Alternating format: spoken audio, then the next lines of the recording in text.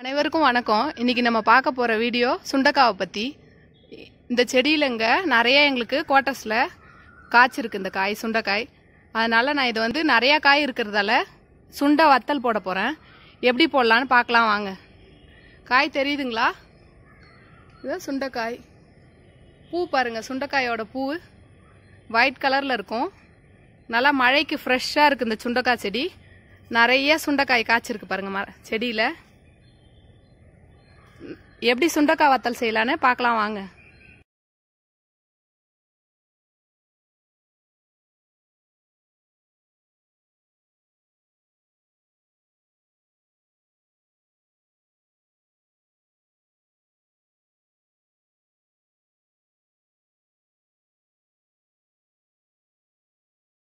பாருங்க சுண்டக்காவை நல்லா காம்புல இருந்து பறிச்சுட்டு க்ளீன் பண்ணியாச்சு.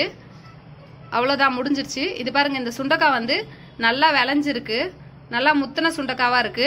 நம்ம இந்த சுண்டக்காவை நல்லா புழிஞ்சிட்டோம்னா அது உள்ளேருந்து விதை கிடைக்கும்.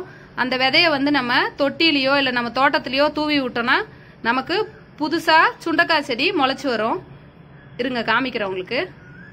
பாருங்க இது நல்லா முத்தின சுண்டக்காயா அங்கே பாருங்க அப்படி அழுத்தினோம்னா வெளியில இது மாதிரி விதை வந்துடும் வெளியில விதை வந்துச்சுன்னா இந்த விதைய தொட்டிலையோ இல்ல நம்ம தோட்டத்திலயோ போட்டுட்டோம்னா நிறைய சுண்டக்காய் செடி நமக்கு கிடைக்கும்.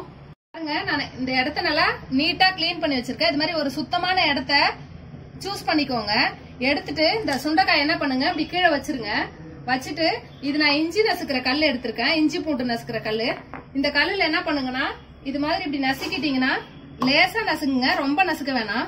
லேசா நசுக்கிட்டோம்னா நம்ம அந்த வத்தல் மோர்ல ஊற வைக்கிறப்ப இது மாதிரி பண்றப்ப அந்த மோர்ல நல்லா ஊறி நமக்கு டேஸ்டியான வத்தல் கிடைக்கும்.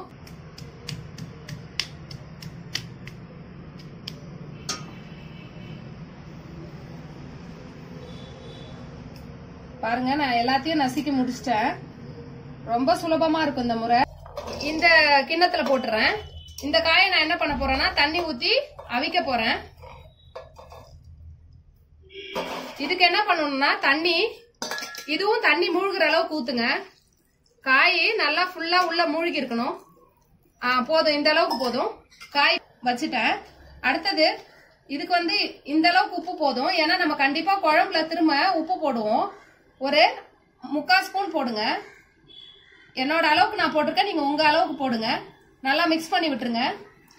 இப்போ இதை கொதிக்க வச்சுட்டு வடிகட்டி நம்ம காய வச்சுட்டோம்னா நம்மளோட சுண்ட வத்தல் ரெடி ஆயிடும். குழம்புக்கு தேவையான வத்தல்.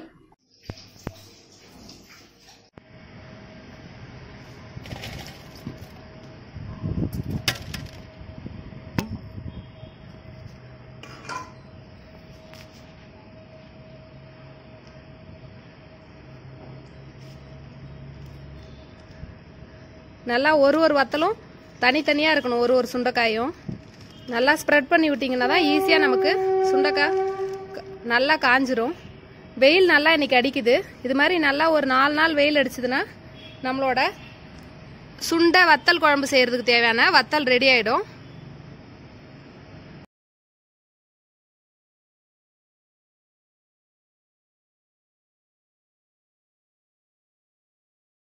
இந்த சுண்டைக்காய் இல்லைன்னா சுண்டை வத்தல் சாப்பிட்றப்ப நமக்கு நார்மலா இருக்க அந்த ஃபீவர் இருக்கு இல்லைங்களா? அது அந்த கோல்டு ஃப்ளூ இதெல்லாம் வந்து நமக்கு ஈஸியா வந்து சரியாயிடும். இது வந்து இயற்கையான முறையில நம்ம சரி பண்ற மாதிரியும் இருக்கும். ஜுரம் இருக்கப்ப நம்ம சுண்டைக்காய் எடுத்துக்கிட்டோம்னா இல்ல சளி இருக்கப்ப சுண்டைக்காய் எடுத்துட்டோம்னா இந்த சுண்டைக்காயில இருக்க அந்த நல்ல மருத்துவ குணம் பாத்தீங்கன்னா நம்ம சளி ஜுரம் ஃப்ளூ இதெல்லாம் வந்து சரி பண்ணிடுது. அதுக்கப்புறம் பாத்தீங்கன்னா முக்கியமா சக்கரை நோயை கூட இது கண்ட்ரோல்ல வைக்குது. ஏன் அப்படி சொல்றேன் அப்படின்னா இதுல வந்து நல்ல நிறைய அந்த ஒரு மாதிரி அந்த துவர்ப்பு சுவைன்னு சொல்லுவோம் இல்லையா? பொதுவாகவே சர்க்கரை நோய் வந்து நம்ம அந்த நாவப்பழம் சாப்பிட்றப்பையும் சர்க்கரையை வந்து சரி பண்ணுதுன்னு சொன்னோம். ஏன்னா அதுல வந்து அந்த துவர்ப்பு சுவை இருக்கு. கொஞ்சம் கசப்பு தன்மையும் இருக்கும் இந்த சுண்டைக்காயில. அதெல்லாம் வந்து நமக்கு அந்த சுகர் பேஷண்ட்டுக்கு வந்து சுகரை வந்து கண்ட்ரோல்ல வச்சுக்க உதவுது.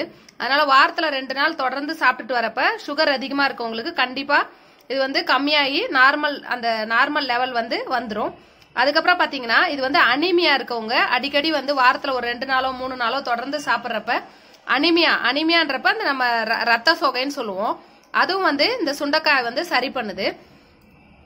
அதுக்கப்புறம் பாத்தீங்கன்னா இந்த சுண்டக்காய் வந்து முக்கியமா கேன்சர் வராம தடுக்குதுன்றாங்க. அதுவும் லங்ஸ் கேன்சர் ஏன்னா இதுல வந்து அந்த ஆன்டி ஆன்டி பாக்டீரியலும் ஆன்டி ஃபங்கல் ப்ராப்பர்ட்டிஸும் இருக்கிறதால அது என்ன பண்ணும்னா தேவையில்லாத அந்த செல் வளர்ச்சியை வந்து தடுத்துட்டு நம்ம வந்து அந்த லங் கேன்சர்லேருந்து நம்மளை வந்து ப்ரொடெக்ட் பண்ணுது.